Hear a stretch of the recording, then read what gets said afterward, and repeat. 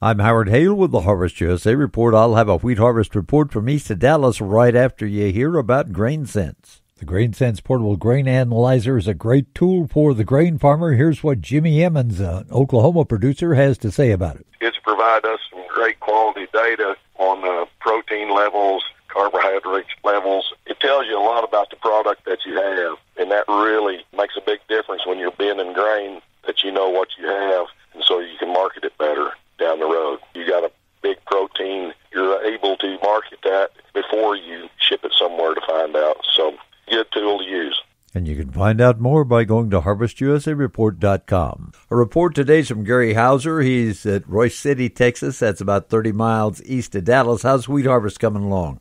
Coming along pretty slow here with all the wet ground conditions we've had here for the last six weeks. When were you able to get started? We started Friday and, and caught another shower Saturday and went back to work Sunday and Monday here and looks like it's going to be open for another week or so. How's the wheat turning out? Best we've cut has been around 80. Uh, I'd say that the average is in the middle 60s right here.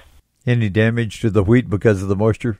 Some of our varieties are still grading number one, and in others, uh, the bushel weight has slipped a couple of pounds on, and, and some varieties there is a little bit of sprouting has occurred.